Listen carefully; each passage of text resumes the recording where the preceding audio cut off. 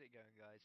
My name is Jarrod, uh, uh, FeralJarrodz um, YouTube, and this is basically my character creation for my paladin.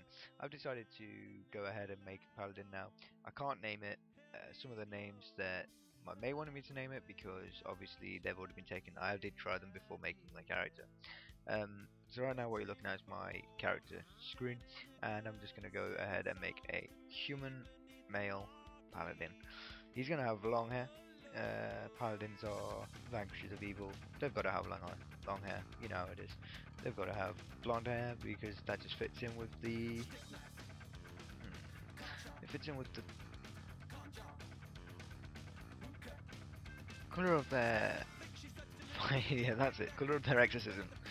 I was thinking of that all the way through that. Um, that was my bad. Now I want some good facial hair.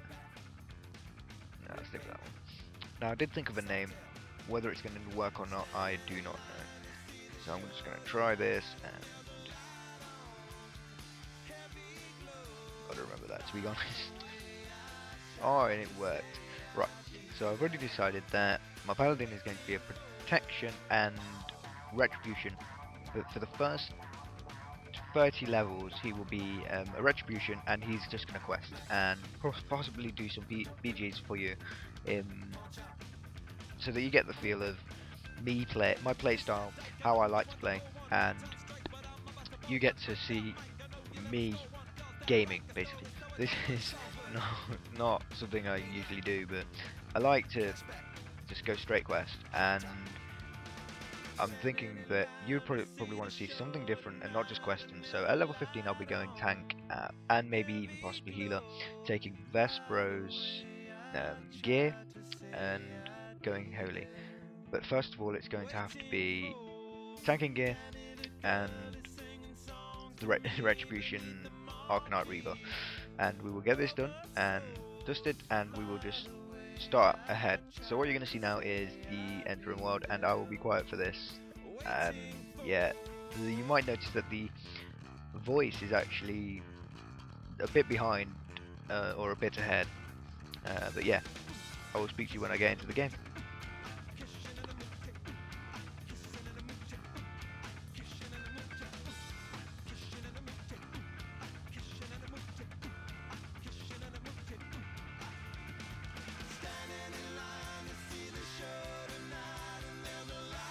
Emboldened by the return of their heroic king, Varian Wrynn, the proud humans of Stormwind led the Alliance to victory in its war against the dreaded Lich King.